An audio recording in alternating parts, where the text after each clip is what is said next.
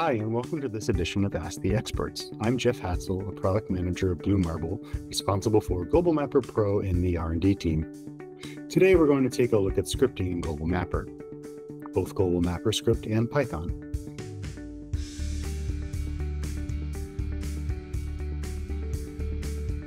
Scripting has come a long way um, from the original command parameter based language uh, that is Global Mapper script as edited in text file uh, now we have a built-in script editor with syntax highlighting, uh, with full Python support, and a script builder to record commands while working in the UI. So today's workflow is going to focus on recording a certain process in the UI so that I can automate it in the future. And the goal here is to essentially do something once, save out the script for an automated process so that I can do it without launching uh, global mapper and having to manually run these workflows. So let's go ahead and take a look. Before getting started with my workflow, I want to make sure that I have the script builder open and running. Uh, so what this tool will do is it will record any commands that I uh, execute in the application here um, that can also be scripted. And this is generally speaking, um, you know, more things such as analysis tools, and the import and export of data, right? Things that don't necessarily require a UI. So we're not going to record the change of color or something, right? Because when you're scripting, there is no UI. So that's not something that'll be recorded, but all of our analysis and our settings and things like that. The script builder launches in its recording state. So we know we're recording as we get going. And then as I go ahead and open some data files here, what we'll see is that those actions will be recorded in the script builder. Uh, the reason we see three layers imported here is because my GMP file references two uh, original LAS files or LAZ files. So the goal of this workflow is to take a look uh, at these point clouds and in reference to the previously surveyed, uh, so this is a right-of-way area for the um, power line and railroads here. And so what we want to determine is, uh, based on this new LiDAR scan, how do the surveyed bounds match the physical bounds that we're seeing on the ground, right? Over time, um, maybe the right of way gets a little larger, maybe it gets overgrown and, and cleared in.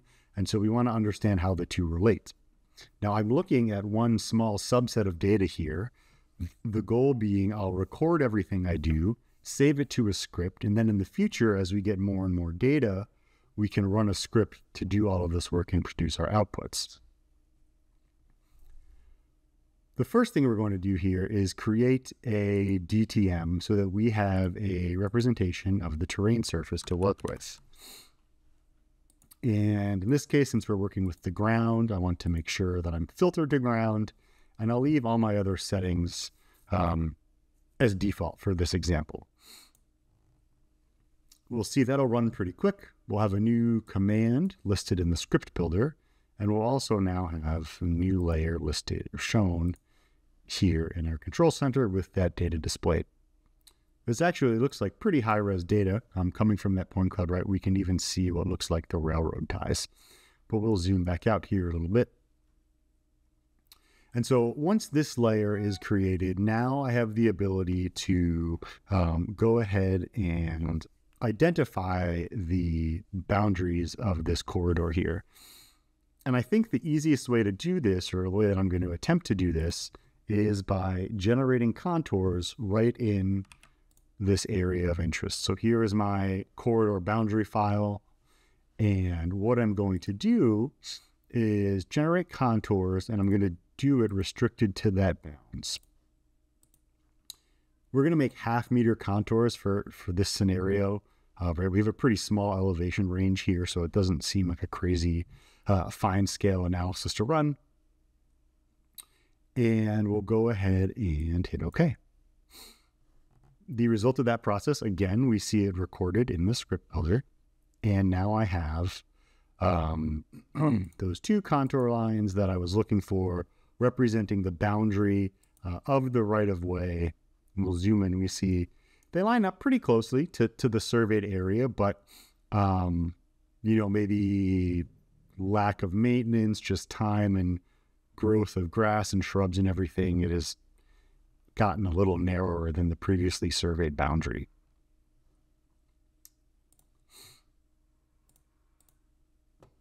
I'm going to stop recording for a second just so we can talk about what the script builder has done for us. So for each of the commands that I enacted, the script builder has recorded them along with their corresponding parameters. So when I wrap up this process in terms of my analysis and export the data, that's going to get recorded as well. So the first thing I might do is export this terrain layer uh, to save as reference, and I'm going to do that to the Global Mapper grid format. Uh, that's just a format we use within Global Mapper. It's a little bit more optimized, and I'll overwrite this previous test file that I was working with. So we see that export is saved, and if I do the same with the contours, I'm going to export those probably to shapefile, and we'll call those contours. And so now I have those saved as well and part of my script builder. So for this step, my analysis is complete. And what I want to continue doing then is looking at how I can go from script builder commands to a more complete script. I can launch the built-in script editor directly from the builder, and it's going to carry over all of my commands with the associated parameters.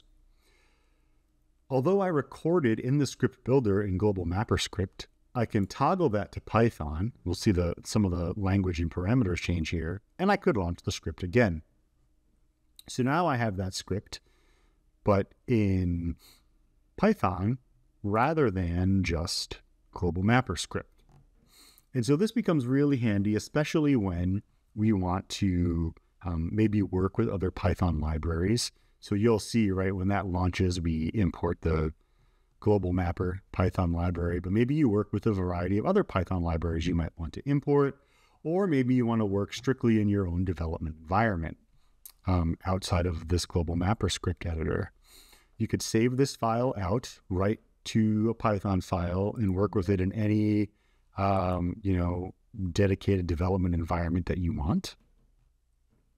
Where I might start editing this script for use with um, more data would be maybe changing the import options. And what I'll do here is maybe I would set this to loop through a variety of data. So rather just importing that one set of point cloud data in the right of way, importing it all, running the elevation grid creation, and then running the contour generation followed by those exports. So that I've only had to do this once in the UI. The script is now saved out as a Python file, and whatever edits I made would be retained as well if I save it. And then I have the ability to um, run through this process without ever having to launch Global Mapper. It could be automated so that maybe daily or weekly, whenever you get your new data, you could have the script run and update the data. And I could do the exact same thing on the global mapper script side as well. Save out the language, run it whenever I need to, and have a nice and easy way at which I've automated my workflows. All right, so thank you for joining us today. I hope this provided some insight and maybe some inspiration for all the ways that scripting can help automate workflows in Global Mapper. If you'd like to learn more about scripting in Global Mapper or any other components within the application, please feel free to check out our website, bluemarblegeo.com. Thanks.